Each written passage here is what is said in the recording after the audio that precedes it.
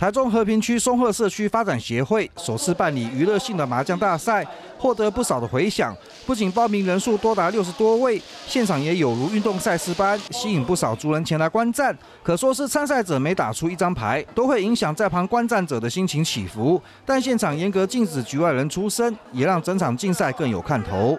有史以来第一次办这个是啊，办这个打麻将了。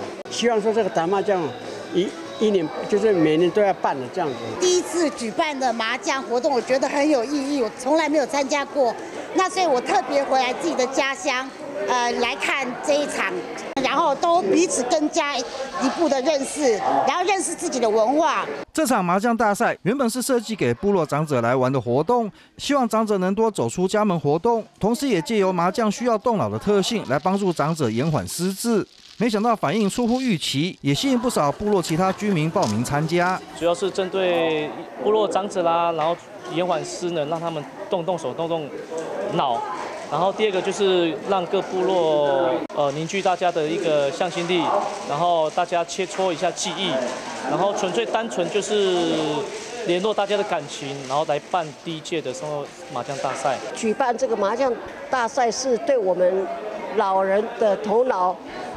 转急转弯是很好，不会不会有老人痴呆的那个问题在。松鹤社区发展协会表示，这场比赛纯属娱乐性质，每桌得分最高的优胜者晋级后，再与其他桌晋级者同桌较劲，最后选出前四名获胜的人，由协会颁发奖金及奖杯，希望借由麻将的趣味性来推广有益身心健康的活动。原是新闻 No 台中和平采访报道。